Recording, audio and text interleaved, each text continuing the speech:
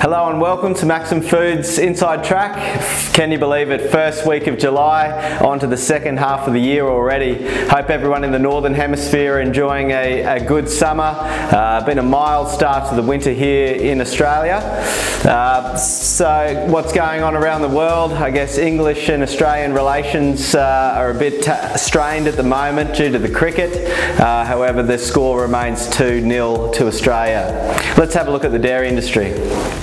Kicking off with whole milk powder, so not a lot of excitement on the GDT last night. Uh, we've seen the last two months since the start of May, uh, basically the, the GDT flatlining, so which shows that supply and demand uh, are finally balanced. Uh, supply has been uh, good from last year in New Zealand, uh, and the start of the season is looking to kick off well as also. So milk supply is there, demand is there for the minute keeping uh, pricing relatively steady. Having a look at skim milk powder, not a lot of bullish signs in the skim market. Uh, the EU was uh, showing some signs of recovery uh, about a month ago, some big global tenders uh, gobbling up um, European supply. However, that seems to have steadied now. Uh, in the US, also some relatively stable conditions a month back. we have seen some easing in demand and supply is still reasonably reasonably good.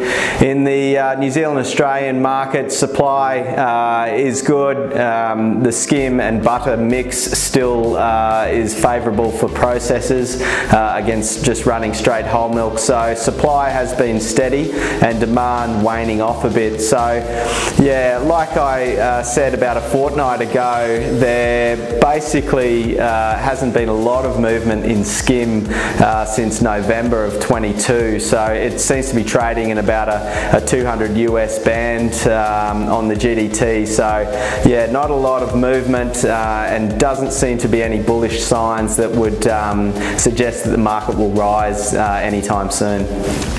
Moving across to butter, if we can look at it globally in the US, uh, pricing stable, uh, supply is good uh, for butter and, and, demand is steady. Uh, obviously being the summer months, uh, demand for cream, ice cream, etc. Uh, over there has been good, so has sort of held up and, and, kept butter on an even keel. In the EU, retail demand hasn't been too bad, so we're seeing pricing remain relatively stable as well last night we saw on the GDT uh, a 10% decrease on butter. So yeah, it's been a volatile commodity over the last uh, three months. Since the start of May, it's risen about 12 to 13%, and then we saw that correction last night.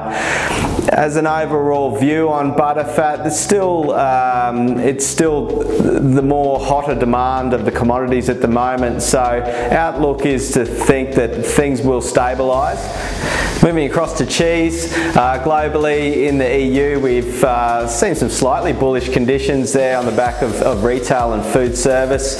Um, in the US uh, things had been on the decline pricing, uh, however we've seen a, a, bit of recovery, a bit more stable demand uh, domestically and uh, in, in Latin America.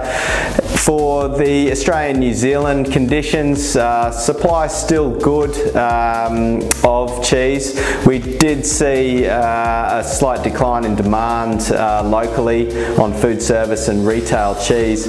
Uh, with the Reserve Bank's decision to pause interest rates uh, yesterday, we may see a bit more optimism and, and we should see conditions pick up uh, in the next two to three months. Hence demand hopefully will recover. Finally looking at whey powder and whey derivatives, we've got uh, some good steady cheese production globally, uh, hence um, good supply of, of, whey powder. So on sweet whey, things are still relatively bearish, uh, no real signs of any uptick in demand. Uh, in protein, we've seen some positive signs uh, on WPC in the EU with demand picking up and, and pricing uh, following.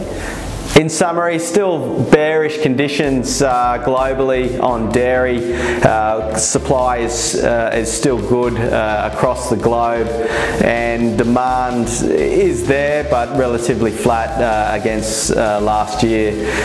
Thanks very much for listening to today's Inside Track. Look forward to seeing you in a fortnight's time.